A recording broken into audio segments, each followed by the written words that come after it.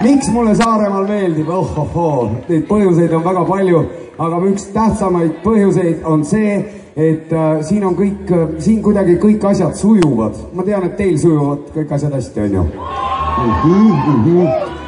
mul oli nimelt niiviisi, et kui me seda tuuri alustasime, siis äh, meie esimene äh, kuuma suvetuuri esimene päev oli seitse kraadi ja sadas vihma ja, ja pärast seda kadus mul loomulikult hääl, see on täiesti tavaline.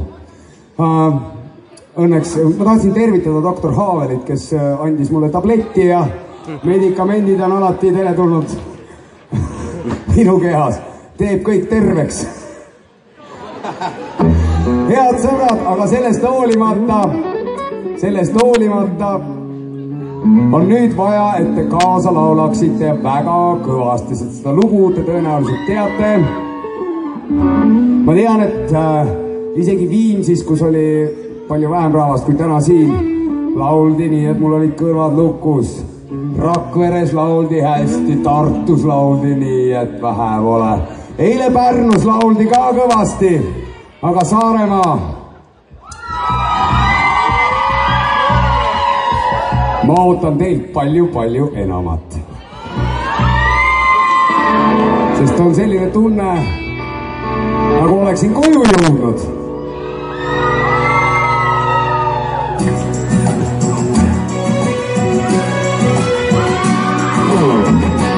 õhtul saabunud ja vaikus võtab maad.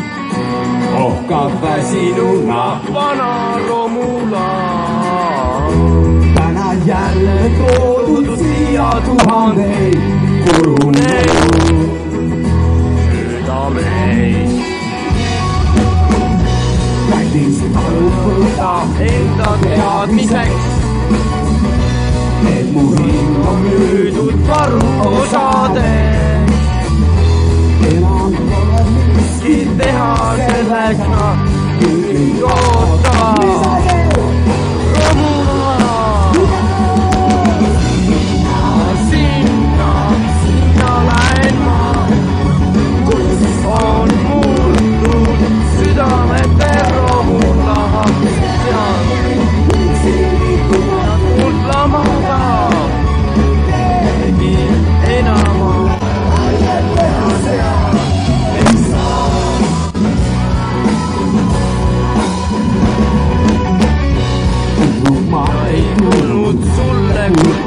ma vaid tahan, et sa teaksid, haiget sai.